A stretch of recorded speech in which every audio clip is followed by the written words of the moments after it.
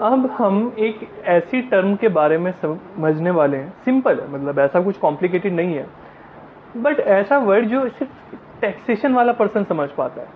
SSC जब ये word आप किसी नॉन टैक्सेशन पर्सन से बात करेंगे ना तो उसको समझ में नहीं आता व्हाट इज़ एसएससी और किसी भी टैक्स वाले पर्सन से बात करेंगे या जिसको थोड़ी सी भी टैक्स की नॉलेज होगी तो वो पर्सन ना ऐसे कहेगा एसएससी नहीं पता है आपको। It's very common word SSC कौन है? आप। हम एसएससी हैं यस आप एसएससी हैं मैं एसएससी हूँ सब एसएससी हैं मतलब SSC means any person who is liable to pay any tax जिसको भी टैक्स पे करना है वो एसएससी है जिसके ऊपर भी टैक्स की लाइबिलिटी आ गई ना वो कौन हो गया एसएससी हो गया हाँ अभी आप कुछ अर्न नहीं कर रहे हो अभी एज अ स्टूडेंट हो तो बात अलग है अभी आप एसएससी नहीं बने हो बट जैसे ही लाइबल हो जाओगे ना तो एसएससी देखा जाए तो एसएससी अब भी मैं आपको कह सकता हूँ कि आपके ऊपर टैक्स एप्लीकेबल है इनकम टैक्स हाँ लाइबिलिटी नहीं आ रही है, ठीक है? और एक बात बहुत ध्यान से अभी समझ लो, जैसे इनकम टैक्स आप सीख जाओगे ना पूरा एडवांस कोर्स इनकम टैक्स का तो उसमें आप registration income tax registration return filing सीख जाओगे। उसके बाद से ही अपनी अपनी फैमिली के, हर एक मेंबर की डजेंट मैटर कौन है जिसके पास भी पैन कार्ड अवेलेबल है, ठीक है?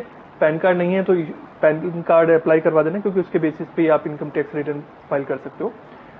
हर किसी की आप रिटर्न फ़ाइल करना स्टार्ट कर देना, भले ही आपकी इनकम ज़ीरो है, ठीक है? नहीं अर्न कर रहे हो तब भी इनकम टैक्स रिटर्न फ़ाइल करना। है मैं एक एक करके सारे रीजन बताऊँगा क्यों फ़ाइल करना है और उससे कैसे फ़ायदा। जब सीख जाओगे पैसे तो किसी को देने ही नहीं है ना। प्रैक्टिस भी हो गई आपकी। जीएसटी में दिक्कत आती है। जीएसटी में दिक्कत क्या आती है? वहाँ पे रिटर्न फ़ाइल करने के लिए आपके पास कुछ क्लाइंट का डेटा नहीं है तो आप प्रैक्टिस नहीं कर पाते। इनकम टैक्स में आप खुद अपना रजिस्ट्रेशन करो, अगर नहीं है फैमिली मेंबर का ब्रदर सिस्टर मदर फादर जिसका भी नहीं है रजिस्ट्रेशन रजिस्ट्रेशन कर सकते हो। उसके बाद रिटर्न भी फ़ाइल कर सकते हो। टैक्स वाली और नील रिटर्न जैसे भी आपको करना है उस तरह की रिटर्न फ़ाइल कर सकते हो। ठीक है? सो यहाँ पे प्रैक्टिस का स्कोप भी आपके पास अवेलेबल रहेगा उसमें कोई दिक्कत नहीं है। बहुत फ़ायदे होते हैं रिटर्न फ़ाइल करने की बिना इनकम के भी। तो सब समझेंगे। चलिए अभी एसएससी का मतलब समझ में आया ना जिसके ऊपर टैक्स लाइबल है लाइबिलिटी आ रही है जिसके ऊपर। सो so, वो क्या हो गया? एसएससी हो गया। Every person in respect of whom any proceeding has been taken for the assessment of income loss and refund sir ये तो बिल्कुल समझ में नहीं आया, ये तो ऊपर से चला गया। देखो, पहला तो उन्होंने कहा जिसके ऊपर टैक्स एप्लीकेबल हो जाता है वो। ये दूसरे वाले में पता है क्या कहा? Any person in respect of whom जिसके ऊपर ना any proceeding has been taken मतलब इनकम टैक्स डिपार्टमेंट ने कोई प्रोसीडिंग करी है। प्रोसीडिंग मतलब किसी भी तरीके का कोई भी क्वेश्चन रेज करा है या कोई केस चल रहा है। एक सिंपल लैंग्वेज में बोल देता हूँ तो प्रोसीडिंग को कहीं ना कहीं मैं केस से रिलेटेड कह सकता हूँ, ठीक है?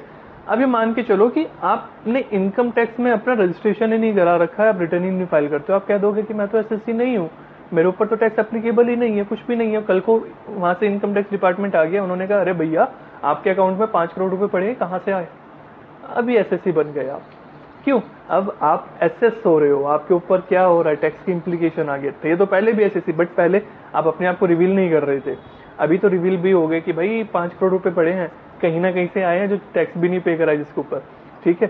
सो so, तो आप क्या कहलाओगे? एस एस सी कहलाओगे। Deemed S S C legal representative आ जाता है। देखो मेन मेरे लिए एस एस सी का मतलब है मेन पहले वाला जो मतलब बंदा टैक्स पे कर रहा है ना डे टू डे लैंग्वेज में जो टैक्स पे कर रहा है जो अपनी रिटर्न फाइलिंग कर रहा है जो इनकम टैक्स के अंदर कवर्ड हो गया, उसको मैं एसएससी कहता हूँ। ये पहला, ये डिटेल्ड वाली बात होगी।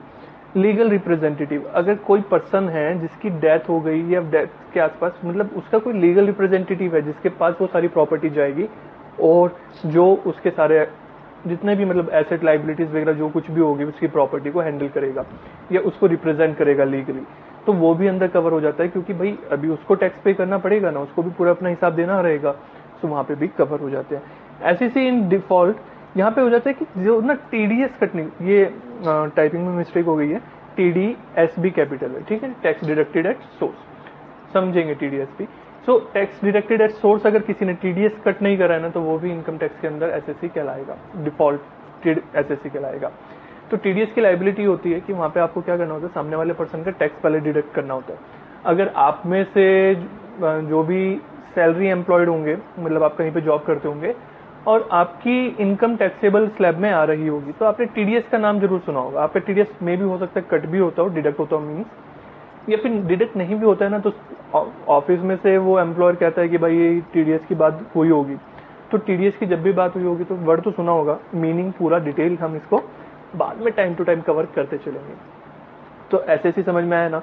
आज से आपका नाम आपका नाम नहीं, आज से आपका नाम क्या? एसएससी ठीक है? जब तक हम इनकम टैक्स पढ़ रहे हो, आप कौन? एसएससी मैं कौन? एस एस सो आज से एक नया नाम एस ठीक है? चलिए नेक्स्ट वीडियो में नेक्स्ट टॉपिक